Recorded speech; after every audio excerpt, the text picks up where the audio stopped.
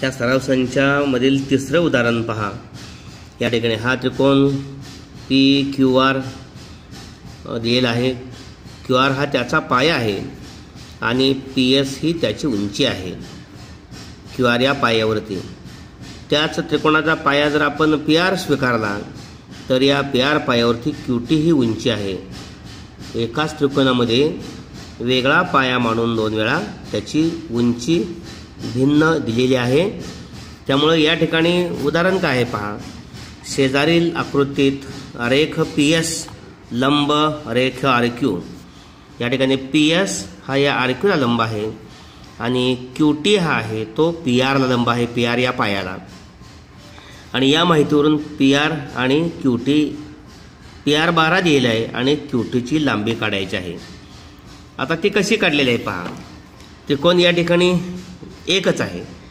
Area त्रिकोण P Q R त्यामुळं पहिल्या त्रिकोणाचा पाया आणि उंची म्हणजे पी क्यू आरचा यांचा गुणाकार केला तर पी आर गुणले क्यू टी कारण त्याचा पाया पी आर आणि त्याच्यावर टाकलेली ही उंची क्यू टी आहे. त्याच त्रिकोणाचं क्षेत्रफळ आता पाया या ठिकाणी क्यू आर घेतलेला आहे आणि उंची पी एच घेतलेली आहे. म्हणजे एकच त्रिकोण तुम्हाला अंशस्थानी आणि छेदस्थानी त्याच नावाचा वापरावा लागेल.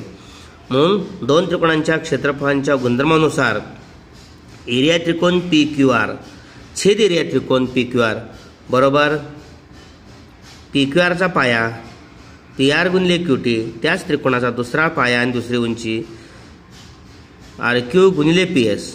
किमती घातल्यानंतर आपल्या लक्षात येईल की या ठिकाणी पी आर बारा आहे आणि त्याच्यावरची जी उंची आहे क्यू टी ती काढायची आहे. म्हणजे बारा गुणले क्यू टी आणि खाली या ठिकाणी क्यू आर आहे. ती क्यू आर आपल्याला सहा दिलेली आहे. आणि पी एस ही जी उंची आहे ती सहा दिलेली आहे. सहा गुणले सहा. म्हणून या ठिकाणी खाली छेदस्थान दोन सहा आहे.